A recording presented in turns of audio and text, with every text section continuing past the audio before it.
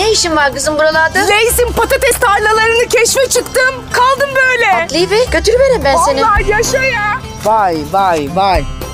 Leysin patates tarlaları böyle oluyor demek. Tabii ya. Fatma abla makineler nerede? E Faruk var ya çalışıp duru makine gibi. Hem gözümüz gibi bakarız biz bunlara kızım. Her birini el üstünde tutar. Öyle göndeririz. Buraların kokusu sinmiş mis gibi. Türkiye'nin topraklarından ve çiftçilerinden. Bizim patates, bizim Leys.